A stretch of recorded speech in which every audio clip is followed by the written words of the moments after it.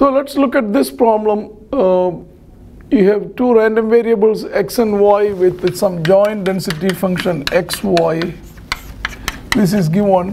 We want the density function of z where z is uh, square root of x squared plus y squared. So that's generally like the magnitude. If x and y are the real and imaginary parts of a complex random variable, then this surely represents the amplitude or the magnitude. So if you look at fzz, that is probability of z less than or equal to z, but z is given to be square root of x squared plus y squared less than or equal to z. So essentially we, uh, which is the same as probability of x squared plus y squared less than or equal to z squared. So we identify this as the interior of a circle with the radius z. Uh, so this is x, this is y. Uh, so this is uh, z. So if this point is uh, xy, uh, so notice that uh, y goes from minus z to z and x goes from this place to this place. So in terms of y, of course, x is minus square root of z squared minus y squared to x is square root of because z square you can see here, uh, x squared plus y squared is z squared. So x squared is uh, z squared minus y squared less than or equal to. So of course we can write this as the joint density function inside this circle evaluated dx dy. So x goes from minus square root of z squared minus y squared to square root of z squared minus y squared and y goes from minus z to z.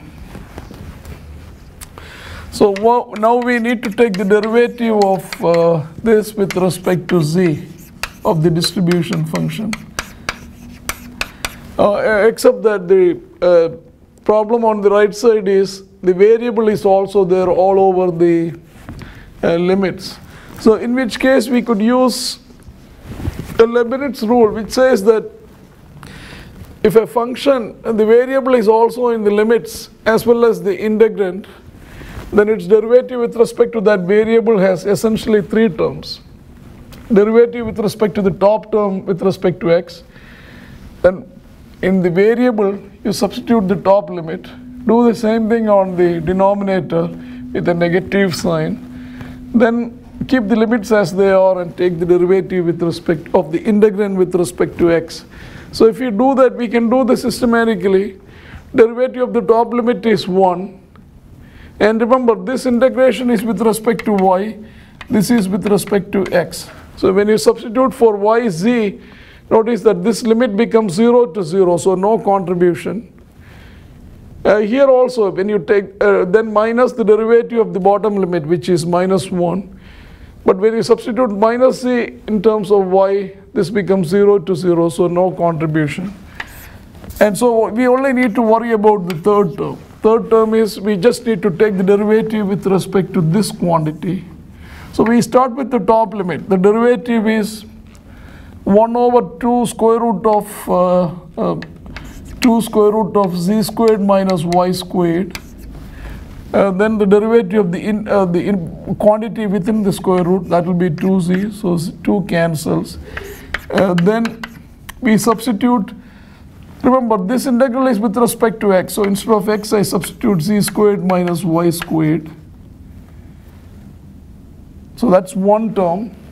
I do the same thing with the denominator with a minus sign. So minus mi- minus becomes plus so you get z over square root of z squared minus y squared. And you substitute the bottom limit which is minus z squared minus comma y squared comma y. And then the derivative of the third term which is independent of z. So i'll rewrite the result here. Uh, so we have the answer actually. It's minus z to uh, z uh, z over square root of z squared minus y squared fxy square root of z squared minus y squared comma y uh, plus fxy minus square root of z squared minus y squared comma y dy. Uh, so the classic problem is to try this out on when x and y are jointly Gaussian uh, with the zero mean and variance uh, equal variance. Let's say sigma squared sigma squared and the co correlation coefficient is zero. In other words x y are independent uh, Gaussian random variables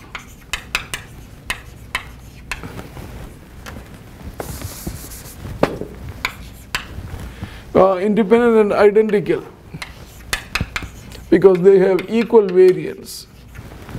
Uh, then of course the joint density function of x and y is uh, 1 over 2 pi sigma squared e raised to minus x squared plus y squared over 2 sigma squared.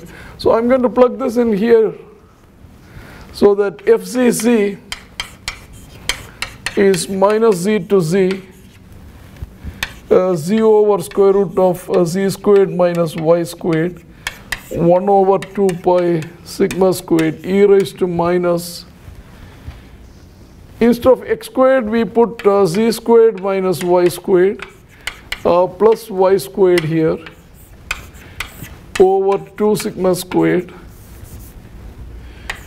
plus we do one more time. Instead of x I put uh, with minus of that quantity. But when I square I get the same term. So rather than write it up I'm just going to multiply by 2 d, uh, dy uh, so there will be 2 times this. So 2 2 cancels. Notice that this y squared y squared cancels so if I simplify so far, this becomes 1 over pi sigma squared. Uh, z goes outside, e raised to minus z squared over 2 sigma squared goes outside, right? Because e raised to minus sigma squared over 2 sigma squared goes outside.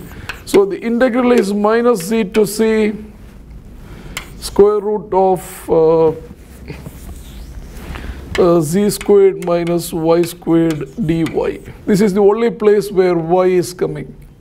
But notice that this is an even function in y and this is uh, uh, so this is 2 times the limits from 0 to c. So we get a 2 back here. This is 2. And to simplify this, we could use uh, y equal to sine theta, I believe, uh, z sine theta. So z squared minus y squared is uh, z squared cos squared theta, and dy is uh, z cos theta d theta. So this integral becomes integral when y is 0, theta is 0.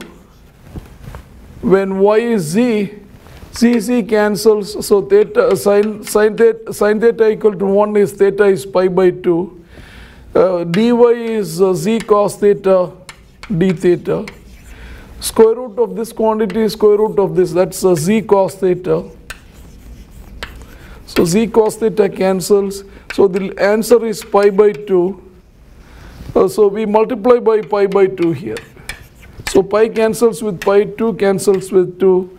So the density function turns out to be z over sigma squared e raised to minus sigma squared over 2 sigma squared for z positive of course. So this is the classical Rayleigh density function.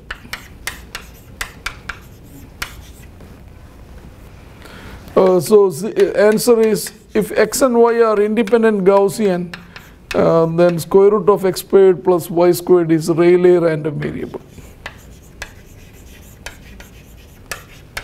What we mean by Rayleigh is that the PDF has this shape. So if you plot the PDF, it looks like this.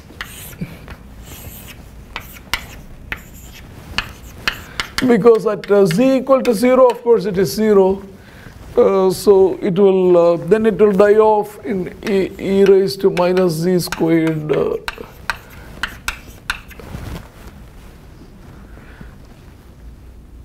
so the simple result is independent equal variance and zero mean Gaussian uh, random variables.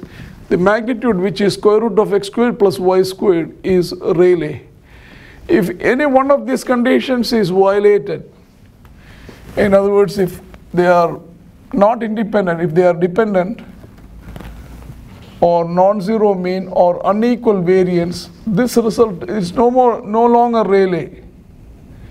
But uh, so the next simplest case is when the means are uh, non-zero, that will be Rician and the uh,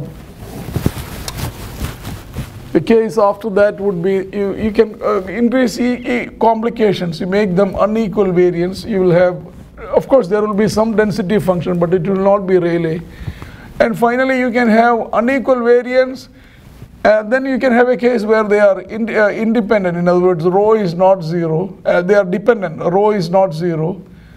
That will also be not Rayleigh then you consider the general case dependent unequal variance and uh, even that can be done but that will be some other time.